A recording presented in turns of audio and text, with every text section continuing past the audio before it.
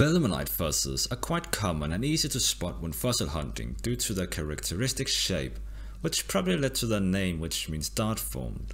They are the remains of ancient squid-like creatures that lived in shallow waters from the late Triassic and were extinct with the non-avian dinosaurs at the end of the Cretaceous period 66 million years ago. Because they were cephalopods they were soft-bodied and therefore did not preserve well, but the belemnites had a hard inner shell like the cuttlebones and cuttlefish that swim in our oceans today. This is why the belemnite fossils that are mostly found are the remains of the inner shell, such as the rostrum, and the phragmocone can also be found. But in rare cases, under the right conditions, more of the soft parts can be preserved, resulting in a fossil like the one you see here.